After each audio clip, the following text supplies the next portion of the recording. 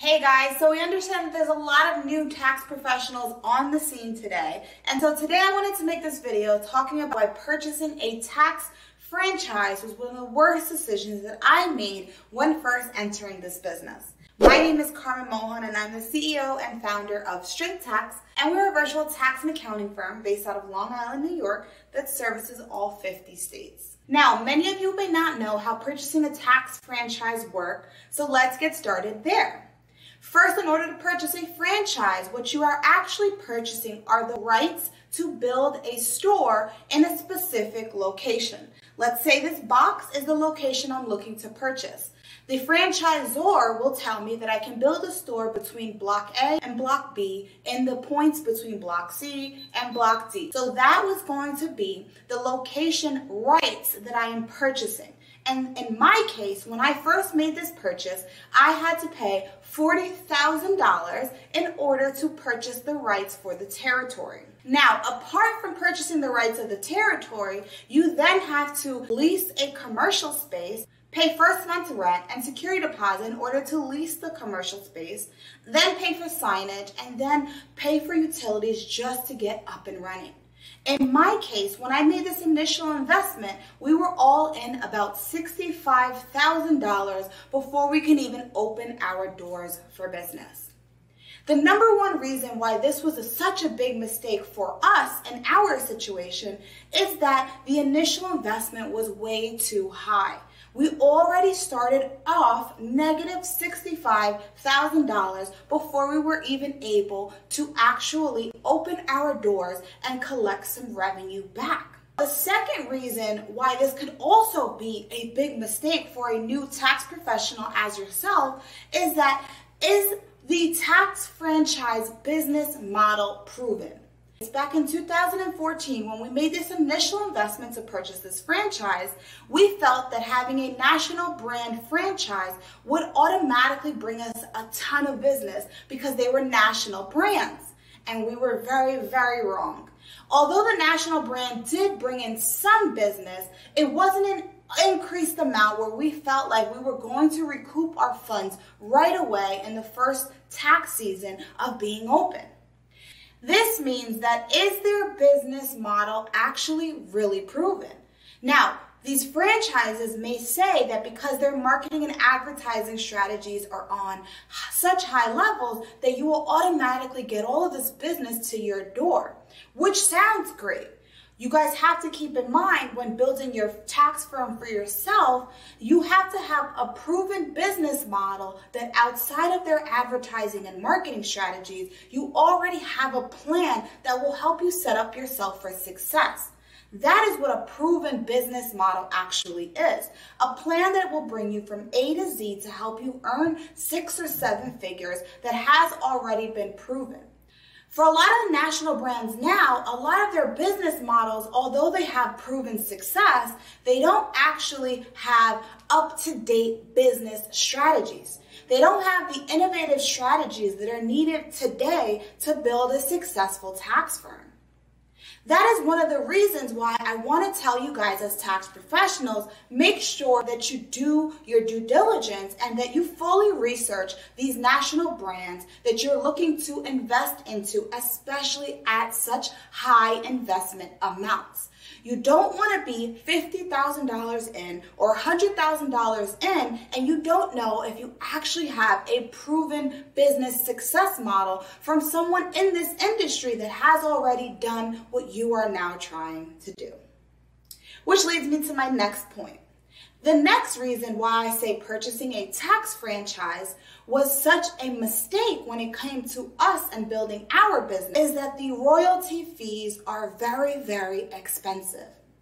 Royalty fees are franchise fees that come off of the gross revenue of your sales. In this particular case, for the national brand that we invested in, our royalty fees were set to be 18%. Now that's a high number because that means that 18% of our gross revenue, meaning before expenses, was going to be automatically taxed to us and due to be paid to the franchisor. In the scenario that I used earlier, if we already started out negative $65,000 before we can even earn one penny, now let's say we earned $100,000 in that tax season. We would have to recoup our initial $65,000 as well as give away $18,000 of our gross sales back to the franchisor. And we're not even talking about any of the other expenses like our own marketing or our own payroll or any of the other costs that we have to factor in to actually make the first $100,000. Royalty fees can make or break your business because if you have to give such a high percentage in fees back to your franchisor, whether that's fees under your service bureau fees, royalty fees, bank fees, there's a plenty of fees that come into place when purchasing a franchise that you need to keep in mind because those fees will automatically reduce your profits, reduce your gross revenue, and it will leave you at looking at your end of the year balance sheet. Like, where did all of the revenue that we earned go? So, tax professionals, please do your due diligence. Make sure you read your contracts and you know all of the fees that are going to be factored in to your purchase before deciding to commit to a tax franchise investment. Reason number four alternative financing.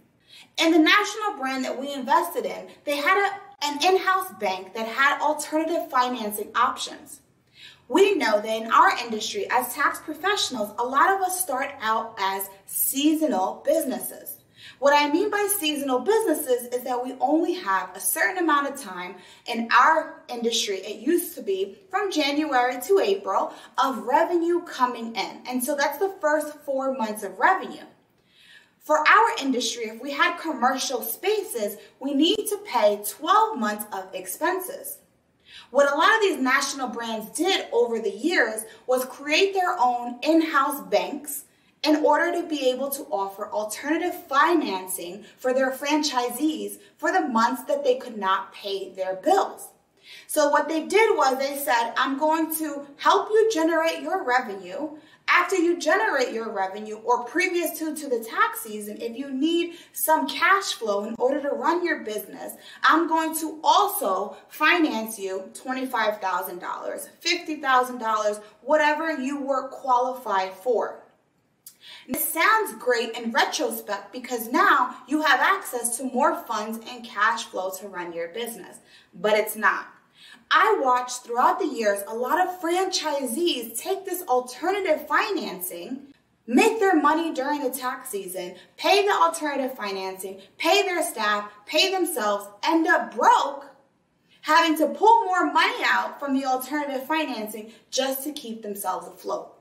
And although they were able to pay themselves in the beginning or the middle or the end of the year, however they structured their finances, it still was a flaw because they had a lot of high debt in their business, which minimized their cash flow and ultimately at the end minimized their profit margins. So their businesses weren't as profitable as the ones that could automatically keep themselves afloat watch their expenses, and reinvest back into their company. The businesses or the tax franchises that all opted in for these alternative financing methods, a lot of them never got to see any additional cash flow being brought in, and they were always in the circle of high debt, low earning, low profit. And I don't want that for you guys, so that's why I'm even mentioning it in this video.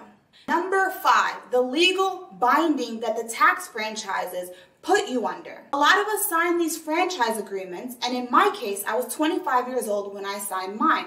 And these franchise agreements are pages and pages and pages of legal jargon. Many of us are so happy to make an initial business investment that we're not fully reading through these contracts or paperwork, fully not understanding what we're signing in for or onto, right? In my case, uh, many of you may ask, Hey Carmen, if you purchase a tax franchise, why do you no longer own the franchise today? Well, I will tell you.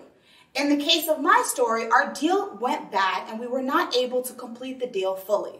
As soon as the deal went sour, the corporate location of the national brand reached out to us and let us know that we had no rights to everything that we purchased.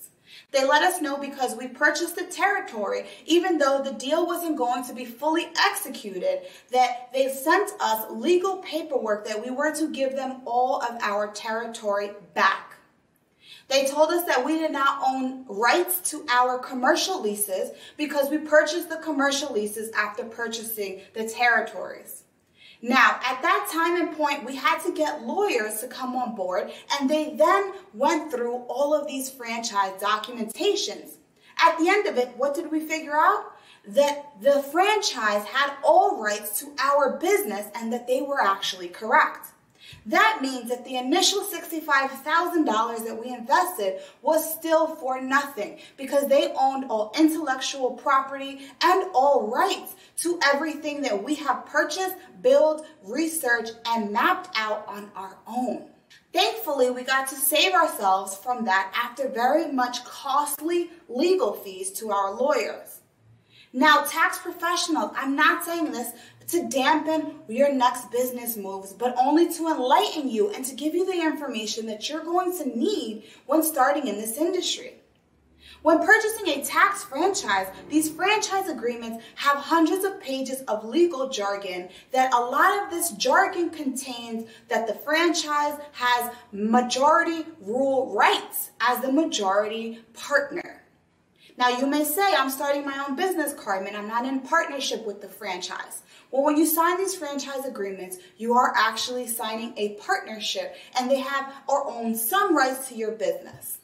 I want to make sure that you guys know this information so that you can take these franchise agreements over to your lawyers and so that they can really break down what it is it's going into this execution of this purchase of this franchise. I really hope this video was helpful to you guys. If you like this video, like this information, make sure you hit the like button, subscribe to my channel. I'm gonna make a lot more content for tax professionals. I understand how hard it is to build a tax business. I went through all the ups and downs that you could possibly think of. We're gonna make a lot more videos for you guys, you tax pros, to make sure you guys are enlightened and know the right things to do when it comes to building your tax business.